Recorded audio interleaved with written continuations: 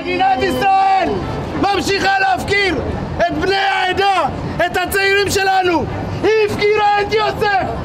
פרקליטות המדינה החליטה לסגור את התיק!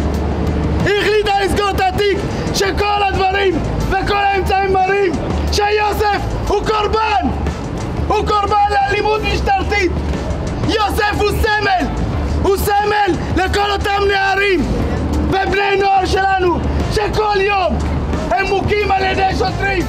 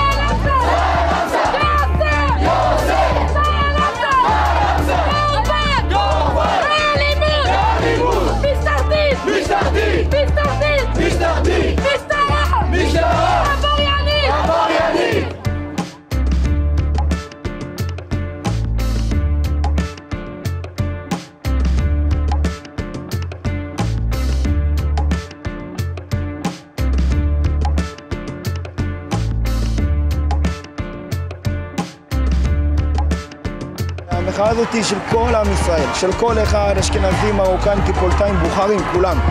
כי אלימות, כולם נתקלים בה מצד המשטרה.